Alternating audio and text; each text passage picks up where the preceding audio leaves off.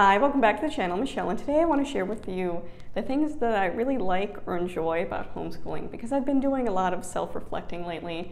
I think a lot of it has to do with what I've just been seeing on social media and how it's affecting me. And I, if you've seen my past few videos, you can kind of see I've been kind of critical of homeschooling lately. And someone in one of the videos mentioned that I need to keep in mind that what I'm seeing on social media represents the minority of homeschooling and not what the majority of us are doing. And I really took a pause to think about that because I'm someone that's affected greatly about, you know, my environment and what I'm seeing. So knowing when to step away and stop watching uh, content that's not really good for my mental health is important. But stop reflecting on certain aspects and maybe start looking more at my homeschool because I do share things that I struggle with and that are hard, which I think are really important, especially in the homeschooling community. So it's not always this pretty picture. But I think it's also important to talk about the things that I really like about homeschooling, that I really enjoy. So that's what I'm going to talk about today.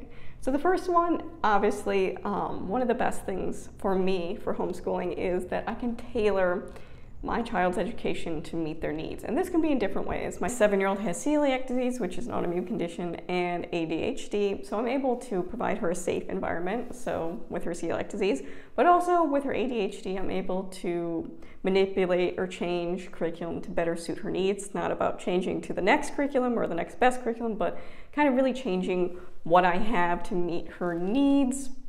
And same with my oldest, who has dealt with, you know, perfectionists and fear of failure and things, being able to hone in on those issues. Again, it wasn't about curriculum, it was about these things. It's something we continue to work with, and even um, being able to have the opportunity to have different levels for my children because they are not on the same level um, for everything. You know, my oldest excels in language arts, struggles math, of course, my next one is completely different, excels in uh, math, struggles with language arts, but also with just my preschooler. You know, at three and a half, he was asking to start school. So, yeah, I can do that. I don't have to wait. So, I can really tailor to meet their needs, which I think is the most important part of homeschooling, really, that it's about their education and what they need. And for me, homeschooling allows me to do that at this stage of life.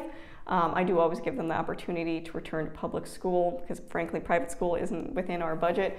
Public school would be the only other option for us, but they always have a say in their education, which I think is really important. But right now, I'm able to meet the needs of my children, which is really great about homeschooling. Next thing I really like about homeschooling is the ability to relearn um, a lot of the subjects I didn't really understand fully as a child, but also through the research phase of really educating myself, because I do think you have to educate yourself on things like history and math before you attempt to teach it. Um, you can't just open a book and expect that book from you know verbatim to tell you how to teach something. I think you really do have to take some time to educate yourself, and I'm really thankful that I've had that time because it's helped me discover a lot too. Um, especially in math, I had struggled with math my entire you know school career and really relearning and approaching it, especially because we use dimensions math, it gives you different options to approach problems and different perspectives on it, which is exactly what I needed in math. I was always taught the one way and you have to do it this way, but it didn't make sense to me or my brain to learn it that way. So being, only, being able to approach math in different ways has really helped me realize that I'm not bad at math. I was not given a lot of opportunities to learn. And so relearning that, but also, like I said, researching. This is especially true with our history and our social justice units. Um, really lo looking at different perspectives throughout history and learning about things that were never talked about in my public school education or in probably education in general, but really having a deep dive and understanding those things, especially from an adult perspective now, has been really amazing and I think has um, helped spur some personal growth on my part as well. So the next one is reading new books. So I think we're at a time where literature is amazing for kids. There's so many perspectives, ideas, and thoughts being put out there um, that I wouldn't have encountered unless I was reading this with my kids. Of course, I'd be exposed to, you know, what my oldest is reading, things like that. But I don't think I would have sat down and been reading all these um, books aimed at kids if it wasn't for homeschooling. So I've come across a lot of really great books, and even though they're written for children or young adult, they still have an impact on me. And I think that's really important to have such a variety of literature you're exposed to. So, next one would be um, one of the benefits and things I really like about homeschooling is it allows my kids more time with their dad. So if you're new to my channel, my husband is a pastor and he works really long hours. Usually he, you know, he's gone by 8 and he'll try to be home at 4:30, but he often has meetings at 5:30 or 6 that take him out until 8. So there, as you can see, very little time. Most of the nights um, during the week, he's not home for dinner those types of situations. And it can be difficult. One of the reasons I chose to be a stay at home parent when we had children is because I knew he would be so busy with his schedule. And I wanted them to have a solid, reliable parent to always have available because I was raised by a single mother that worked a ton and that wasn't because she wanted to it's because she had to for you know our survival so i really wanted to be a stable force in my home environment and having the opportunity to kind of figure our schedule. So we do the Sabbath schedule, six weeks on, one week off, has really allowed the opportunity for them to spend more time with dad, but also for him to be included in our homeschool. He does teach um, Wednesdays and Fridays. Wednesday morning, he does go in a little later because he does service um, Wednesday night, and then Friday is his normal day off. So he's able to participate and be a voice in our homeschool, but also a teacher. I think that's really good um, for my kids to see that it's not just always mom doing everything. But having the ability to determine our schedule is helpful because when my oldest was in the public school, she did public school K through second grade, a lot of the breaks center around things like Easter or Christmas. And honestly, those are really busy times for my husband. He's not getting time off during those time periods or in the calendar year. Um, so often, even when my oldest was home from public school on breaks, he was still working a lot. Same with um, when she was home for summer, things like vacation Bible schools and different youth gatherings and things like that, a lot of that time was taken up by other things. So having this ability to kind of form our schedule so we can take time off, not during Christmas break, which is typical, but during when he would be home. So we can do more fun activities like go to museums or zoos or spend time with each other. So that has really been one of the um, great things that I really like about homeschooling. The next one would be that this is kind of silly, I guess, but I really enjoy going to parks and museums and zoos and not having to deal with large crowds and groups of people. One of the things I hate about summer is that when we go to the park, it's packed. But same with museums. Like I like having the freedom to walk around and not have huge crowds. And again, I'm one of those people that's kind of affected by my environment, so it's very chaotic, it's very loud. It kind of um, ruins the experience for me. It's harder for me to focus on things. And I've noticed my oldest is kind of like that too. During Christmas, we went to a Five Below, and it was their grand opening, and it was packed. And their stores aren't very big, and she was becoming um, overloaded sensory wise, just with what everything was going on. So I really do like um, going to playgrounds and zoos and museums, and not having to deal with a ton of people. That has been um, something I've really enjoyed. Next one is. Uh, they i'm like that i can present multiple perspectives on things. So i talked about this a little bit already on math. I like that we can approach math in different ways. It's not just do or learn this drill it move on. It's really approaching it in different ways. And i think that's what higher level math is. It's not you know just plugging in the numbers but really seeing how things are interconnected and come together.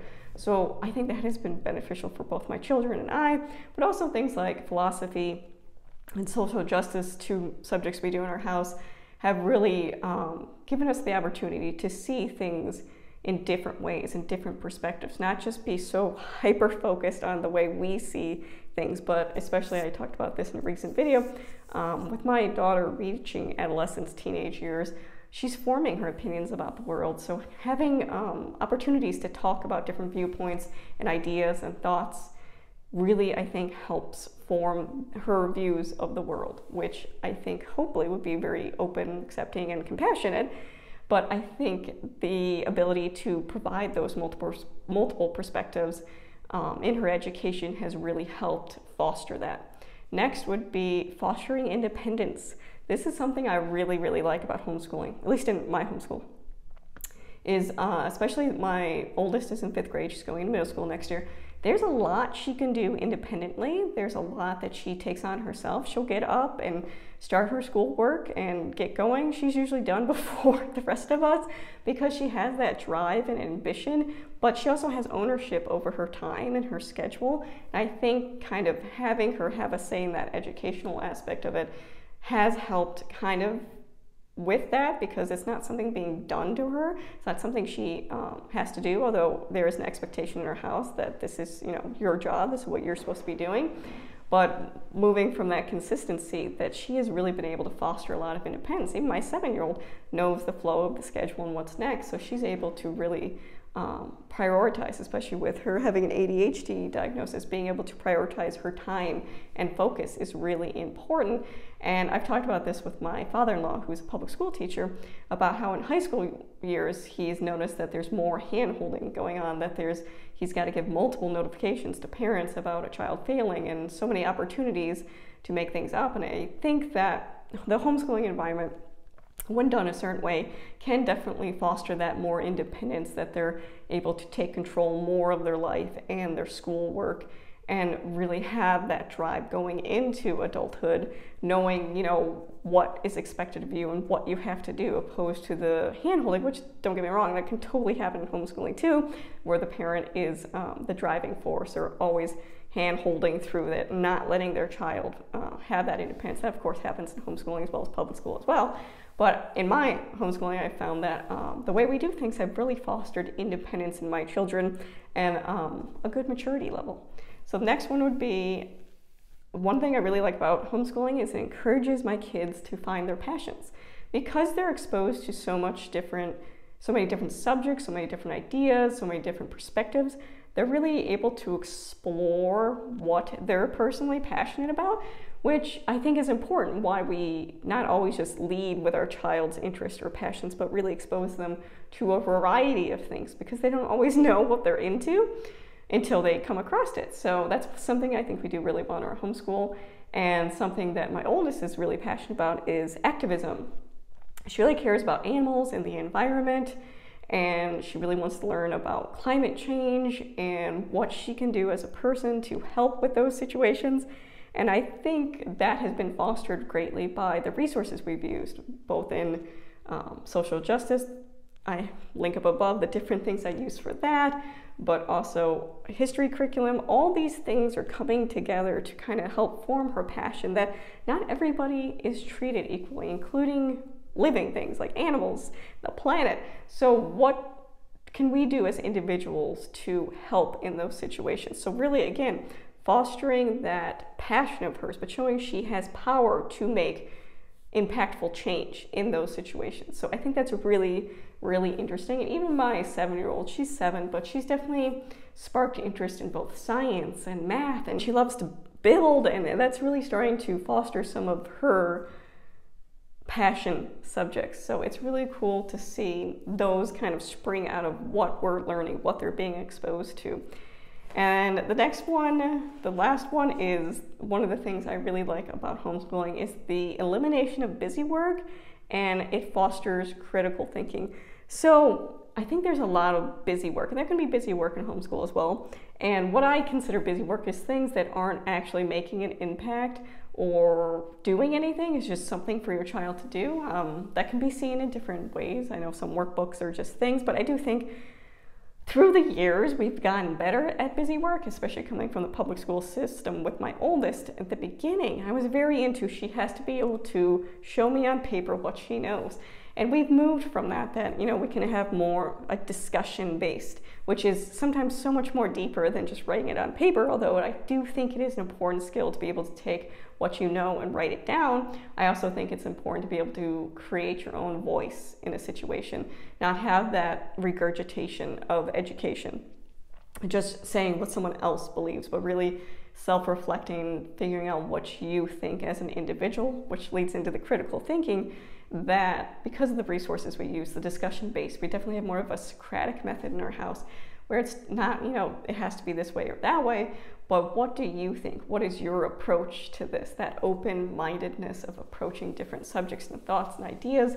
And that's you know, part of our curriculum in both our social justice, our history, our philosophy, even our math approaches things in different ways that I think we've gotten away from making sure that we are filling out every single paper or just putting things in to fill a certain requirement that, you know, the I hate to call out specific curriculum because I know there's people out there that it isn't busy work to them, but things like the little grammar workbooks. I don't think doing something repetitively every day is necessarily the going to be beneficial in every subject or every educational aspect. I think sometimes discussion and understanding and listening to one another provides a really good growth opportunity in a specific area.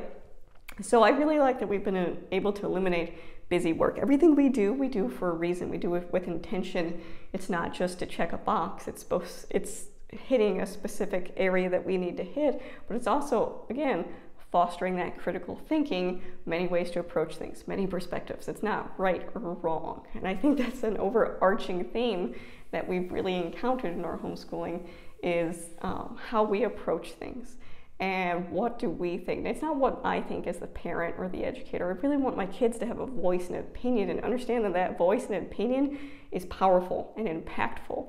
And that is something that is really, I really enjoy seeing in my homeschool and again, seeing foster through my children. And I do get glimpses of that every now and then. I made a video about that um, recently, I'll link up above, but I'm starting to see those glimpses of the impact this education is having on them, and it's really great. So, those are some of the things I really like and enjoy about homeschooling. I would love if you put down in the comments something you really like about homeschooling. I'd love to read those different comments and think about what everybody else is doing and what's impactful to them. So if you have any questions about anything I said, leave them in the comments below. If not, thank you for watching.